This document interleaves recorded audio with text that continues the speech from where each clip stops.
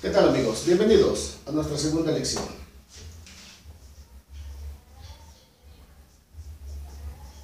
Hoy veremos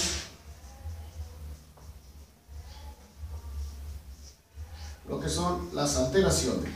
Las alteraciones son ciclos que se escriben a la izquierda de las notas dentro del pentagrama y a la derecha dentro de la simbología.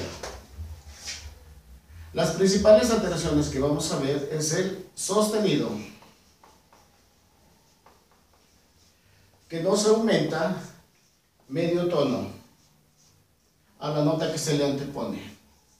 El bemol, que disminuye de igual manera medio tono o un semitono a la nota que se le antepone. Y el B cuadro, que anula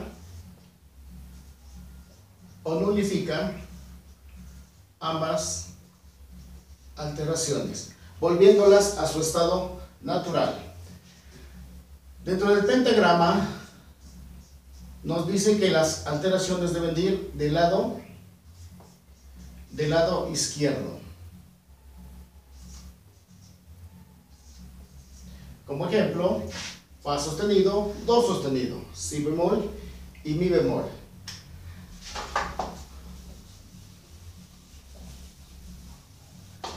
Dentro de la simbología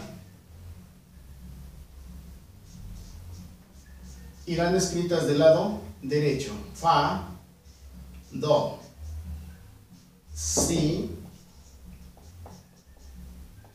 y Mi bemol. El B cuadro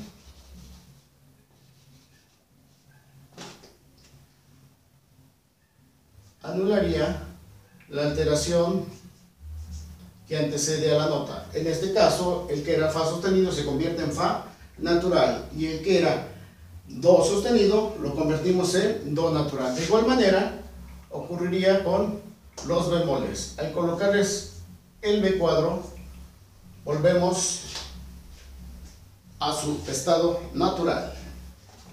Hasta ahí lo que son alteraciones. Acorde. Acorde. Es la superposición de tres notas o más interpuestas por por terceras. Tomando como referencia la nota Do, su tercera de Do sería Mi y tercera de Mi sería Sol y quedaría representado de esta forma. Do, Mi y Sol. En la simbología, que es lo que trabajaremos posteriormente, quedaría de esta forma. Y este sería nuestro primer acorde de modelo que en lecciones posteriores estudiaremos. Eso es todo por hoy. Saludos y buena vibra.